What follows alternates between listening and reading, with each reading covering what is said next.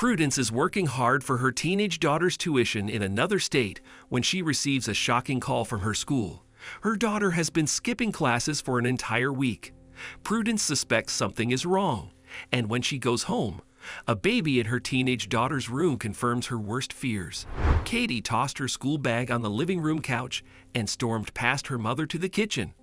Opening one of the wooden cabinets, she pulled out her low fat, low carb crackers and sat at the kitchen counter, grumbling. Seriously, I hate my life, she muttered as she ate a cracker. What's wrong, honey? Prudence asked, joining her daughter at the counter with a glass of juice.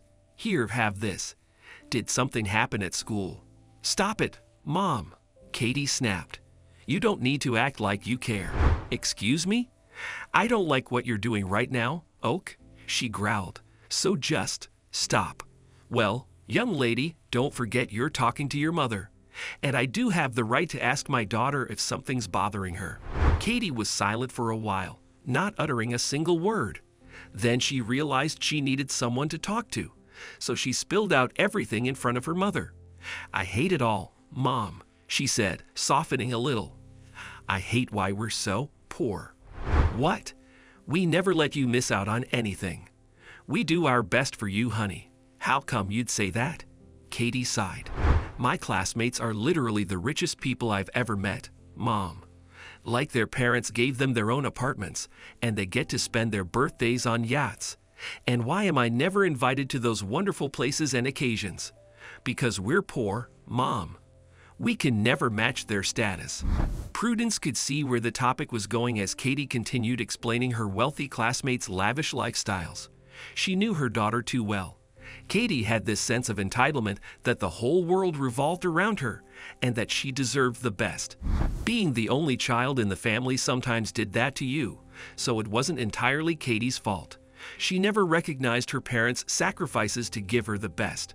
She was always dissatisfied and grew up ungrateful for what she had.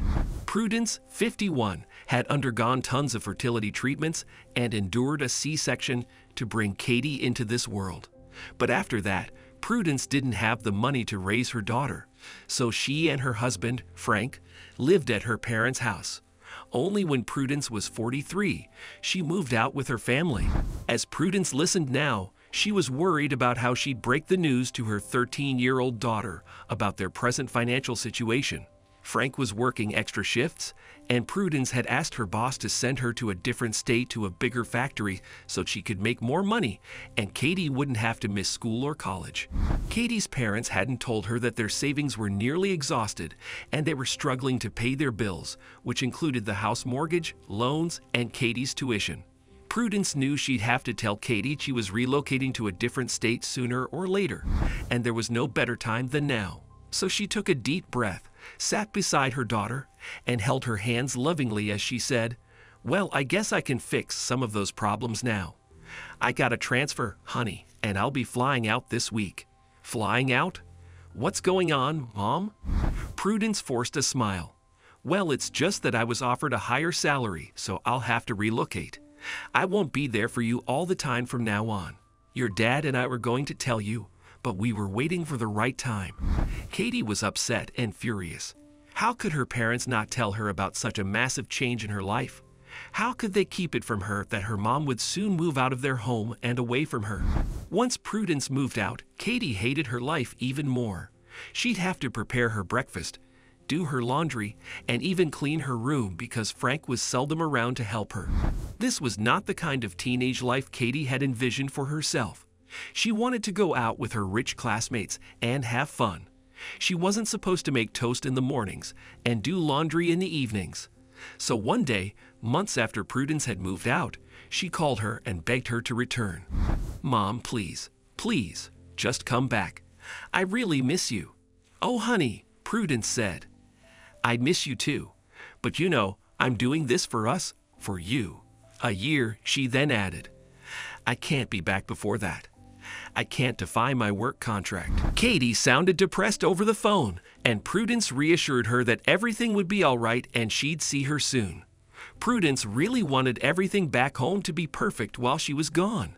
She trusted Katie that nothing would go wrong. But months after being apart from her daughter, Prudence got a worrying call from Katie's school. It was the school principal on the phone, and he sounded very concerned when he told Prudence that Katie's grades were slipping and that she might be expelled. Is everything well at home, Mrs. Delaney? The principal asked further. You know, sometimes a child's home environment really impacts them, and I'm perturbed about Katie since she's been a fantastic student, except for this term. Oh, well, no, nothing like that, sir, Prudence said, embarrassed. I mean, I'll talk to Katie. She's been fine. Nothing's wrong at home. Her dad and I have only been supportive in whatever she does. Oh, I'm afraid her performance indicates differently, Mr. Delaney, the principal remarked. We're letting her off this time, but you know we won't have a choice if her grades continue to fall. Prudence hung up the phone and immediately dialed Frank to find out what was going on with their daughter, but he said he had no idea. I'm barely at home. Prudence, how am I supposed to know?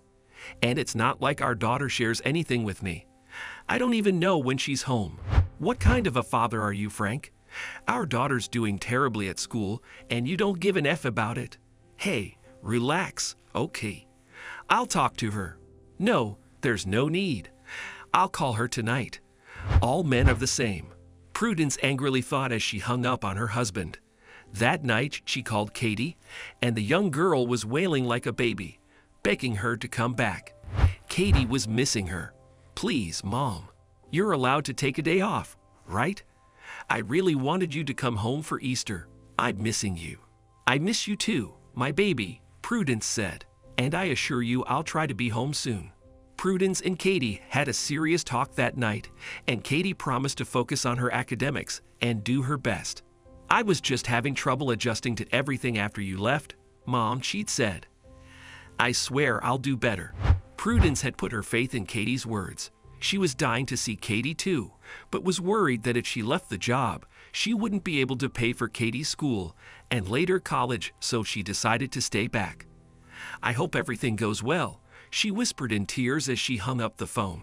For the next few weeks, Prudence called home frequently to check on Katie and ensure Frank was paying enough attention to her. When Frank told her that he was helping Katie with her studies and that her grades were improving, Prudence's heart felt slightly relieved. She thought everything would be back to normal now. But a few months later, shortly before Easter, she received another call from Katie's school. This time, it was Katie's class teacher who told Prudence that Katie had missed an entire week of school. I believed she was sick, Mrs. Delaney, but after not seeing her for a week, I thought I should notify you. Prudence assured Katie's class teacher that she would look into the matter and talk to her daughter, but she had something else in mind. This time, Prudence didn't tell anything to her husband and daughter and decided to go home unexpectedly to figure out what was wrong. Why wasn't Katie attending school? Prudence took an urgent leave and flew back home. As she arrived, she found her house strangely quiet. Katie? Frank? She called out, but there were no replies. Prudence climbed the stairs to Katie's room, convinced she couldn't hear her because she was using headphones. But she wasn't there. Where could she possibly go? It's a Saturday, so the school must be off. When Prudence entered Katie's bathroom, she smelled something foul. Oh gosh, what is that smell?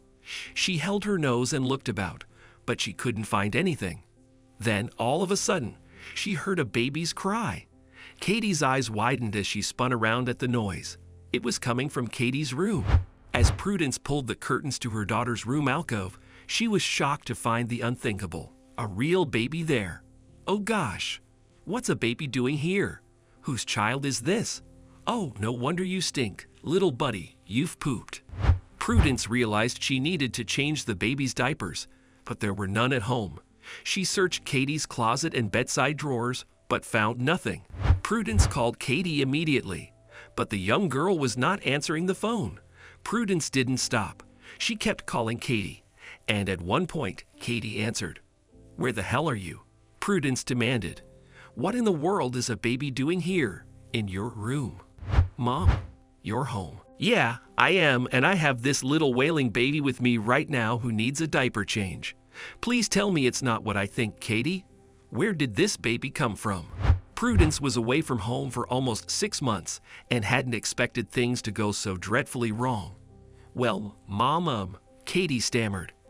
I'm at the neighborhood supermarket getting baby supplies. I'll talk to you when I get back. Oak? Katie, wait. Hello? Hello?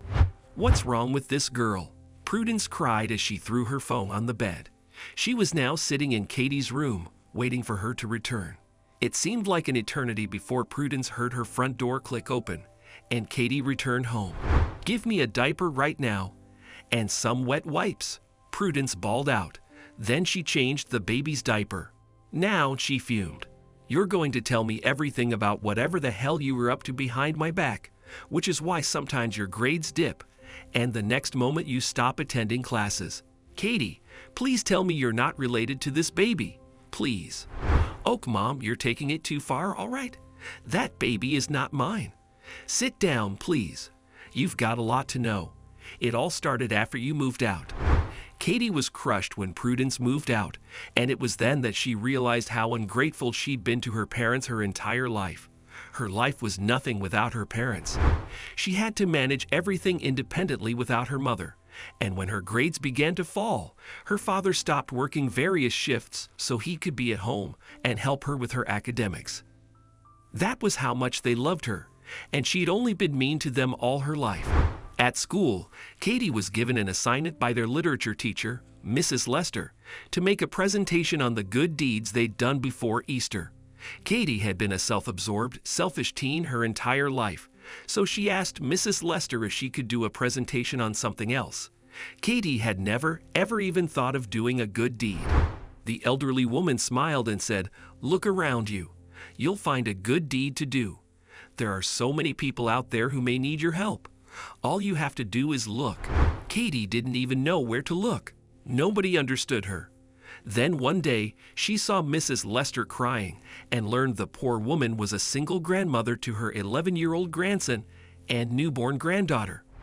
Mrs. Lester's widowed daughter had died in a car crash, so she was the only one her grandkids had now. Katie decided to do a good deed by helping Mrs. Lester, so she prepared a pie and took her old toys she never shared with anyone and visited Mrs. Lester to help her out with her grandchildren. The elderly teacher was grateful to the teen girl. Then one day, Mrs. Lester had a stroke and was confined to bed. She was afraid to go to a doctor, as it would spread the word she was unfit to care for her grandchildren. And then the CPS would get involved and she would lose custody of her grandkids. So Katie and Mrs. Lester's grandson looked after the baby girl alternatively. That day, it was Katie's turn to look after the baby, and Dad was out for some project, so he doesn't know about this.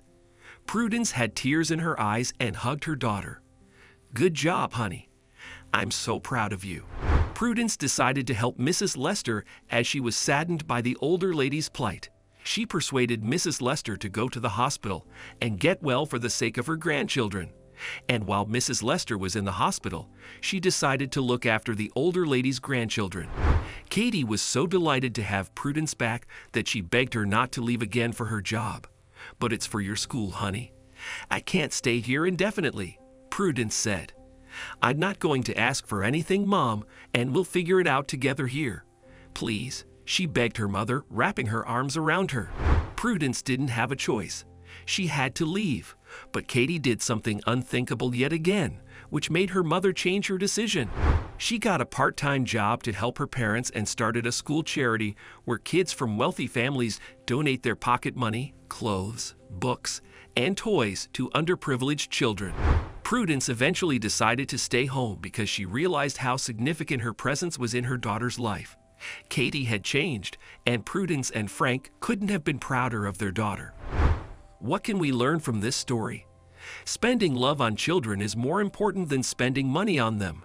Ultimately, Prudence realizes her daughter loves and misses her, so she decides to stay home. Selfishness gets you nowhere in life. Be happy to help others. After Prudence moves to another state, Katie realizes how selfish and arrogant she's been not to appreciate her parents. She changes for the good and decides to help her elderly teacher.